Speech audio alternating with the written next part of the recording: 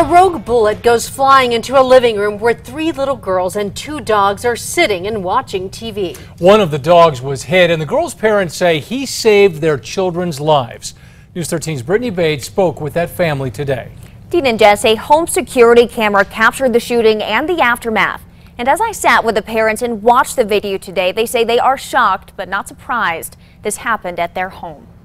He must have heard something. Call it chance or instinct. He went right there. But the Montoya family believes it was fate that caused their miniature poodle Jet to stand up at this second, possibly saving their daughter's lives. He took the bullet and it didn't ricochet inside. Erica Montoya was home with her four young girls and two dogs yesterday afternoon when she heard a window shatter in the living room. I came in here and they were yelling and then I saw blood. You can see Montoya yelling at her daughters to hide under the bed after realizing her dog had taken a bullet straight to the chest. He did like a yelp and I didn't know if he was alive. APD and firefighters got to the home near 98th and Central within minutes. We're expecting to find somebody shot and not an animal.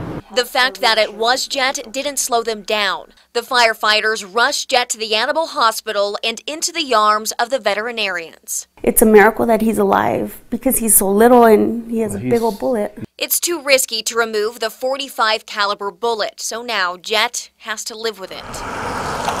The Montoyas constantly hear shooting on the West Mesa.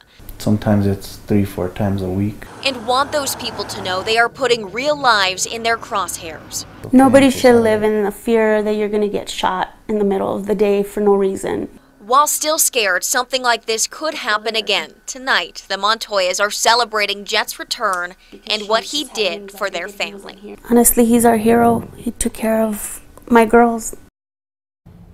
The Montoya say Jet is not completely out of the woods. They will have to keep a close eye on the bullet to make sure it does not move. Dean, back to you. All right, thank you, Brittany. In response to this case, APD is planning to create a TACT plan for the West Mesa using their open space team.